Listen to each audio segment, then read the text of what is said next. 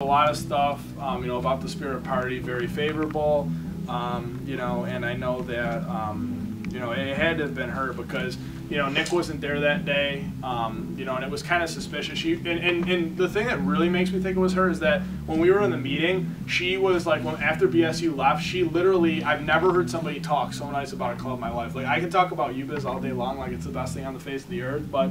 I can't even talk like that good. Like I mean, she was like really, really, really like hot and heavy for BSE, which made me think that you know she was recording it because you know she wanted really herself to sound really good in the recording, whereas you know I was just trying to make a decision like I normally make, and I didn't really come off too strong. But I could tell you one thing: if I would have went back, I would have done the same exact thing there's no way I would have um, played favors for somebody because what I mean, it could come out the other way too. I mean, if I played favors for them, then people could say, "Hey," but you know, I just did it based on his merits, made the best decision I thought possible, and um, you know, that's where we're left today. So anybody who tries to come at us for you know Robin not being on and saying that you know Robin left for whatever reason, you know, he left because his e-board pressured him because they didn't get what they want because they thought that they had an unfair advantage.